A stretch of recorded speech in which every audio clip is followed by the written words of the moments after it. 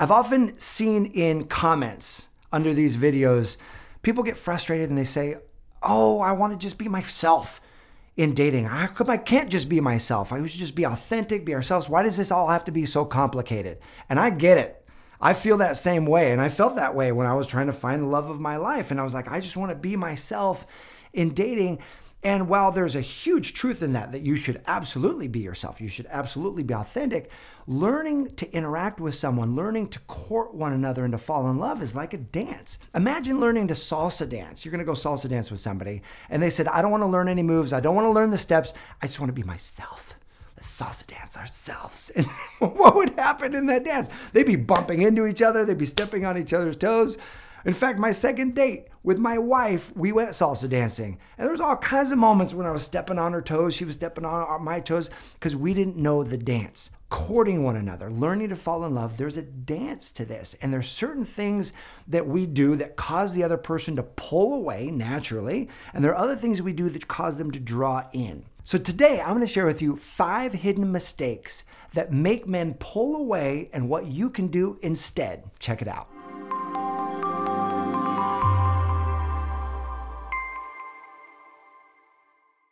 Hey there, this is Mat Boggs, and I'm the founder of the Love and Relationships Division here at the Brave Thinking Institute, where our mission is empowering people to create and live a life they love. And that includes your love life.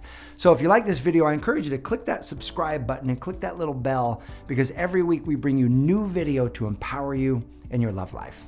And today we're talking about five mistakes that make men pull away.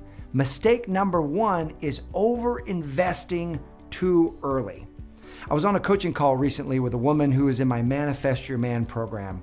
And she was saying, Oh, this one's so hard for me. She's like, When I love somebody or I just feel like I could fall in love with them, I just want to give to them. I want to pour love on them. I want to text them. I want to give them gifts.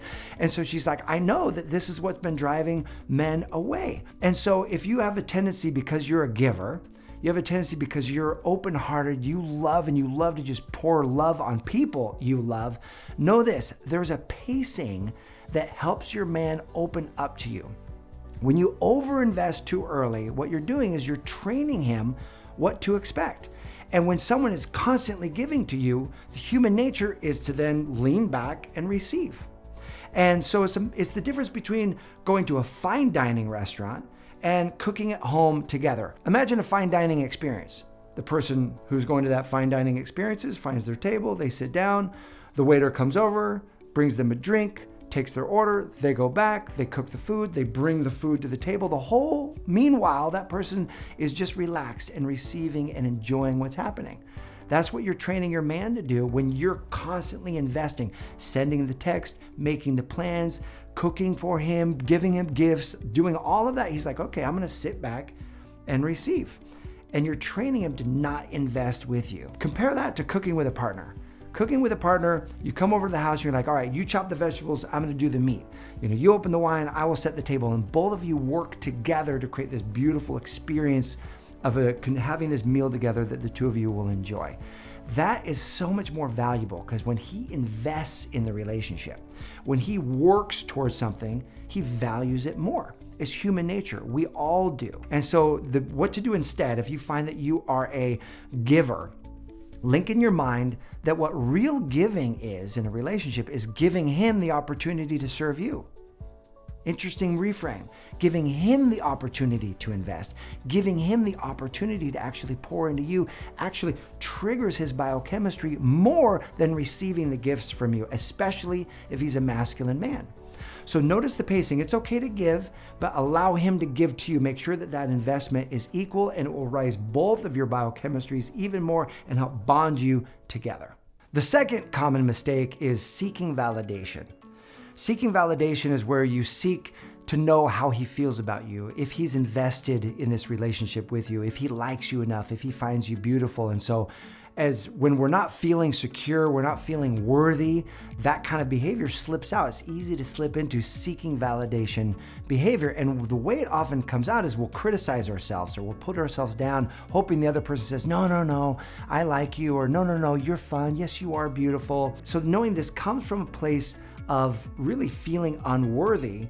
So, the way to unravel this is to own your worth. Let me give you an example of this. There was a, a, woman that I was dating, and I found her beautiful, I found her sexy. And so, one night we're making out, and in the middle of the makeout session, she kind of pulls back and she's like, Yeah, I just, I just don't feel really sexy. You know, I don't consider myself kind of a sexy person.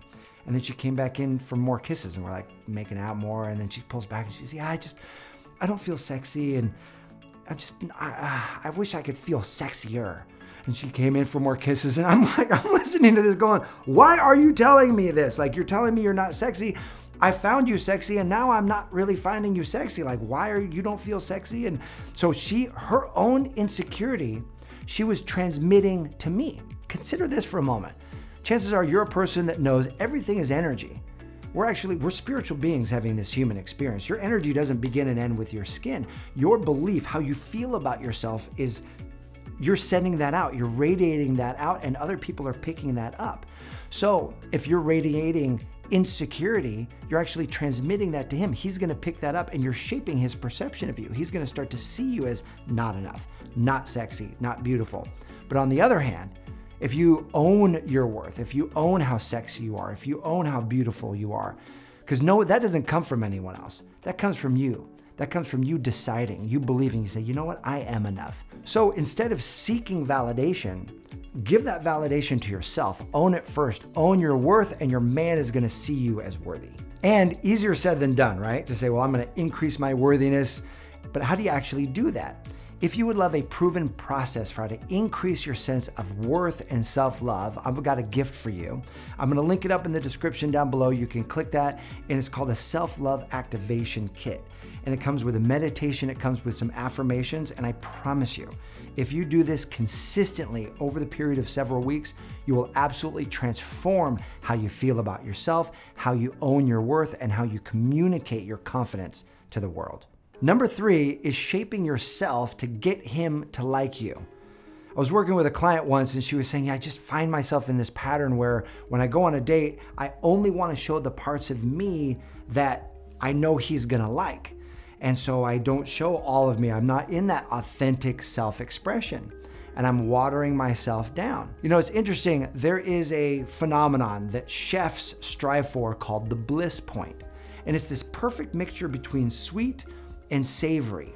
And when you can strike that perfect balance, it creates this blissful experience in the person who's eating the dessert or eating whatever food it is. And so the challenge is in a relationship, if you're only bringing the sweet part where you agree with everything he says and you like everything that he likes and it's all the same, and you're not bringing any of your uniqueness, and your perspective and your beliefs and your interests and your hobbies that maybe he likes, maybe he doesn't. That savory part, if you're not bringing that, you miss the opportunity to create something even richer, more enjoyable for both of you. There was a friend of mine who said he went on a date with this woman and he took a drink of water and she was like, Oh my gosh, you drink water? I love water.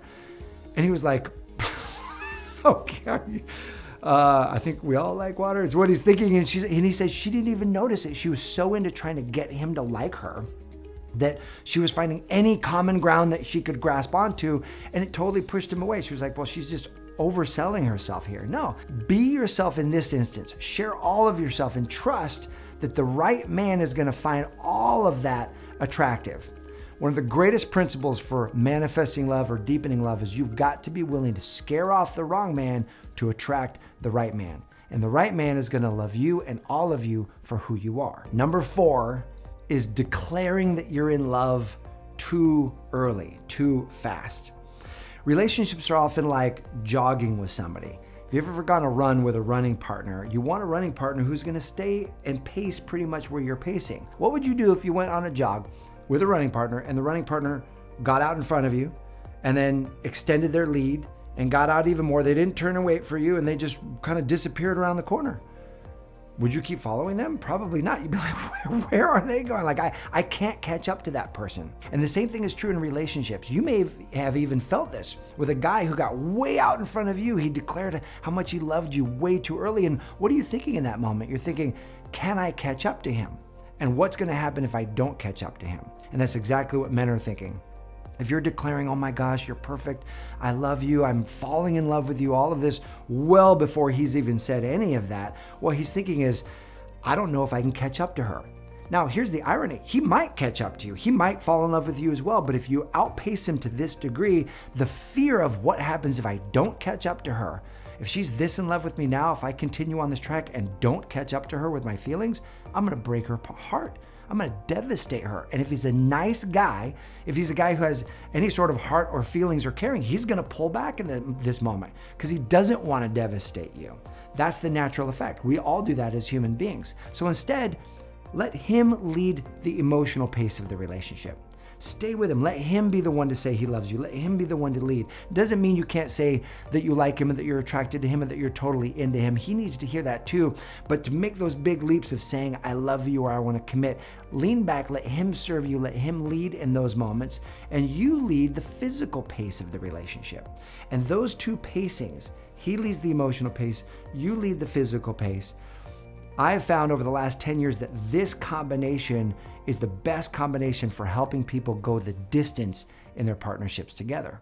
And number five is needing labels too early. Disclaimer there should be a label on this relationship eventually. You should know what his intentions are. You should know the status of the two of you, whether you're committed or not, at a certain point in the relationship. But often, it's easy to get so excited or to feel insecure in a relationship, and then the byproduct of that is needing to over control. And one of the ways that people over control is by wanting labels too early. What are we? Are we committed? Are we boyfriend, girlfriend?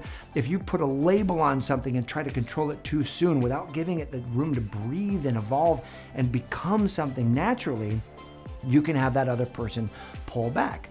Now, again, there is a moment at which you should know where this thing is going but there's got to be enough time for the two of you to have some clarity and to know what are we and what this is before you put those labels on it. So my question for you is, what are the things a man does that causes you to pull away? I'm sure there's been many. Go ahead and post those in the comment section below. I'm to love checking those out. And know this, I believe in you. Thank you so much for watching, and I'll see you soon.